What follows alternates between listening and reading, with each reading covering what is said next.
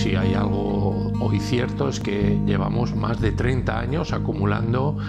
yo diría casi ya una ingente cantidad de eh, informes, eh, posicionamientos internacionales, eh, investigación empírica, estudios que demuestran una y otra vez que es posible, que por supuesto es realizable, que se requiere hacerlo de determinada manera, poner en marcha de nuevo condiciones, políticas específicas, pero hay una enorme evidencia científica para que avala que lo que estamos planteando, insisto, no es una ocurrencia,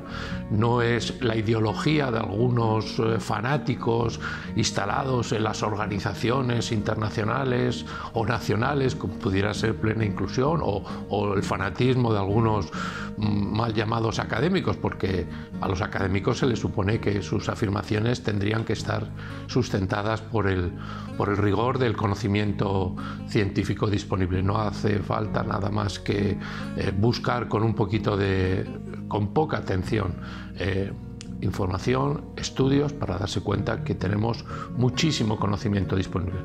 En un momento como este, como bien sabemos que llevamos dos años largos o casi ya dos años viviendo en una situación de, pandemia, donde hemos dado un enorme valor precisamente al conocimiento, donde se ha dicho por activa y por pasiva que nos apoyemos, por favor, en el conocimiento de los expertos para poder orientar las actuaciones en este ámbito de la, de la salud, parece un poco incoherente que no hagamos lo mismo en el ámbito de la educación. También en el ámbito educativo tenemos mucho conocimiento, mucho conocimiento sólido, derivado de mucho trabajo, de investigación, pero de asesoramiento y de compartir internacionalmente el saber que hay en los distintos países, como para poderlo despreciar. Por lo tanto, eh, ese es un bulo que, insisto, debemos, debemos eh, obviar.